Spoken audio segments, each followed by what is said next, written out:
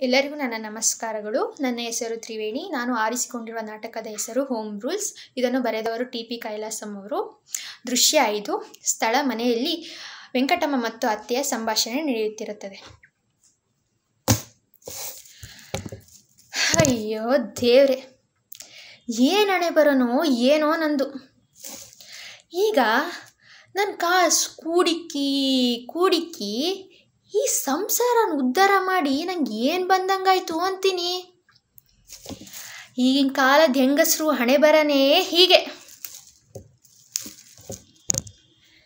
ಅಲ್ಲೇ ಏ ಮಾಡ್ತಿದೀಯಾ? ಆ, ಕೂತ್ಕೊಂಡು ಕೈ ಬೀಸ್ತಿದ್ದೀನಿ ಸುಮ್ಮನೆ ಕೇಳಿದ್ದಕ್ಕೆ ಈ ಪ್ರಸಂಗ ಏನೇ? ಹಾ? ಕಣ್ಬಿಟ್ಟು ನೋಡಿ ತಿಳ್ಕೊಬೇಕಿರೋ ವಿಷಯನ ಬಾಯಿ ಬಿಟ್ಟು ಕೇಳಿದ್ರೆ ಪ್ರಾರಬ್ಧವೇ ಪ್ರಸಂಗ. ಪಾಪ ಈ ಪಿಚ್ಚಾಚಿ ಬಾಯಿಗೆ ಬಾಯಿ ಕೊಟ್ಟು ಬದುಕಕ್ಕಾಗುತ್ತಾ? ಆ ಒಡವೆಗಳ ವಿಷಯ ಏನು ಮಾಡಿದೀಯಾ? ಯಾವ ಒಡವೆಗಳ ವಿಷಯನೋ? ಬೀಗ ಹಾಕಿಟ್ಟಿದೀಯಾ ಚೆನ್ನಾಗಾಯ್ತು.